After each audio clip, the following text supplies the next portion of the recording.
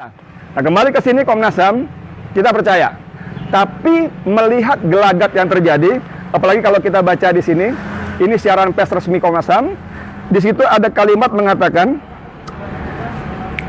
bahkan belakangan juga muncul tindakan-tindakan doxing dan serangan terhadap personality anggota Komnas HAM. Doxing itu mengumbar, mengungkap data personal pribadi di media tanpa seizin yang bersangkutan. Misalnya si A, si A disebut main ini, main itu, punya rumah ini, punya pacar ini, punya gundik itu segala itu doxing. Pokoknya hal-hal tentang pribadi yang dianggap tanda kutip negatif diumbar kepada publik tanpa persetujuan si yang bersangkutan itu doxing. Kemudian di sini disebutkan juga ada tindakan-tindakan dan serangan serangan terhadap personality. Nah, kalau bicara soal serangan saudara, mungkin nggak terjadi. Oh, sangat mungkin. Karena kisah pembunuhan enam anak muda ini oleh polisi, oleh polisi seperti yang dikatakan Kapolda Metro si siapa? Fadil Imran itu tentu akan mengusik banyak orang. Bahkan kalau ini ditelusuri dengan baik, tidak mustahil akan mengungkap jaringan-jaringan di atasnya lagi. Posisi-posisi di atas sekedar Kapolda, bisa jadi Kapolri, saya nggak tahu, bahkan mungkin Presiden, nggak tahu, bisa jadi. Sehingga banyak ada ada kelompok-kelompok yang berkepentingan agar ini tetap tertutup dengan rapat. Tetap tertutup dengan rapat. Katakanlah beginilah. Katakanlah kita berhusnuzon, berpositif thinking bahwa Komnas HAM tetap transparan, independen, berintegritas, berani, berani menepis semua tantangan, semua tekanan. Tapi sesuai prosedurnya katanya, seperti yang disebutkan dalam berita sebelumnya, bahwa Komnas HAM hasilnya paling banter cuma rekomendasi.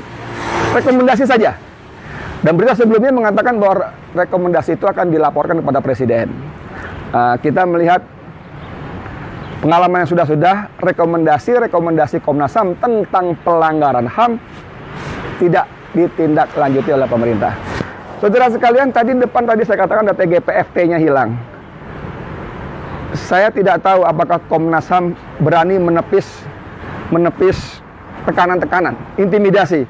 Karena ketika saya membuat laporan di kilometer 50, ketika saya dipanggil Bareskrim, teman-teman wartawan senior mengutip penjelasan sahabatnya yang juga mantan komisioner Komnas HAM, dia mengaku bahwa dalam menjalankan tugas-tugasnya mengungkap kebenaran seputar penegakan dan uh, hak asasi manusia, dia mengalami banyak intimidasi bahkan ancaman. Dalam sebuah informasi itu dia mengatakan sebaiknya Edi pergi dulu deh ke luar negeri. ke luar negeri boro-boro. Tapi itu menggambarkan bagaimana mengerikannya ancaman-ancaman dan pada kasus ini saya sangat percaya tidak mustahil Komnas HAM komisionernya entah si siapa uh, uh, Hairul Anam atau kemarin BK atau yang lainnya lah siapa pun dia di Komnas HAM tidak mustahil akan mendapat tekan-tekanan. Nah untuk itu saudara kita mendorong dibentuknya tim gabungan pencari fakta. Walaupun pemerintah melalui Mahfud MD mengatakan pemerintah tidak berniat membentuk TGPF, silakan aja.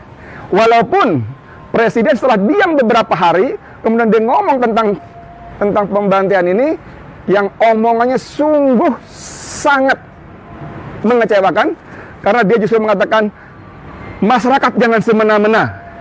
Negara tidak boleh kalah. Ini kan aneh. Mas Jokowi, Mas, yang semena-mena itu aparat. Rakyat, masyarakat nggak bisa semena-mena, nggak punya apa-apa, gila banget, nggak punya apa-apa. Jadi ucapan Anda, sampean yang mengatakan masyarakat jangan semena-mena itu kebolak-balik, Mas. Harusnya sampean sampaikan kepada aparat yang punya senjata, yang punya pistol, yang punya bentungan, yang punya kekuasaan. Jangan semena-mena kepada rakyat. Itu baru presiden yang benar. Ya, jangan dibalik-balik. Lalu negara tidak boleh kalah. Mas, waktu seorang pendeta terbunuh, Anda marah, Mas. Ini ada enam anak muda terbunuh, disiksa. Anda tidak komentar apa-apa, justru begitu komentar, menyakitkan hati umat, menyakitkan hati rakyat, menyakitkan hati keluarga yang dibantai. Nah, kembali ke soal tadi, kita dorong. Ada tim gabungan pencari fakta yang tidak hanya Komnas HAM. tapi ada lembaga-lembaga, institusi, kelompok-kelompok swasta yang concern, peduli dengan penegakan HAM. Baru setelah itu kita boleh percaya atas hasil-hasilnya. Persoalan pemerintah tidak mau bentuk, monggo. Kadang-kadang kita juga nggak perlu SK pemerintah kok, nggak perlu. Saya dorong misalnya Bung Natalius Pigai, misalnya Bung Hari Azhar, atau perempuan siapa untuk ketua kontras yang baru. Kalian kumpul, bentuk TGPF, kerja. Walaupun sekarang bukti-bukti banyak dihapus, dihilangkan, nggak ngerti lah. Kayak kilometer 50 itu sudah habis semua. ya. Jadi itu yang dibentuk, dan saya ingin mengutip uh, artikel dari sahabat saya, M. Rizal Padilah, reporter senior juga di FNN. Dia menulis artikel berjudul Meragukan dan Mempercayai Komnas HAM. Saya mau kutip paragraf terakhirnya saja. Dia mengatakan alangkah ruginya jika menjadi unsur tak terlibat dalam perbuatan tetapi ikut terhukum karena menyembunyikan kebenaran. Sebaliknya, pahala besar akan diberikan Allah SWT bagi mereka yang berlaku jujur dan memberi banyak manfaat bagi kehidupan orang banyak. Komnas HAM, kami ingin percaya kepada kalian. Komnas HAM, saatnya saat ini kalian menunjukkan bukti bahwa kalian bisa tetap independen, berintegritas, dan transparan.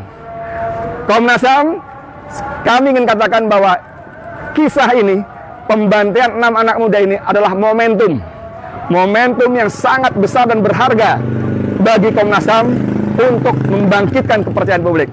Selamat bekerja, kita tunggu hasilnya. Saya Edi Mulyadi untuk FNN. Assalamualaikum warahmatullahi wabarakatuh.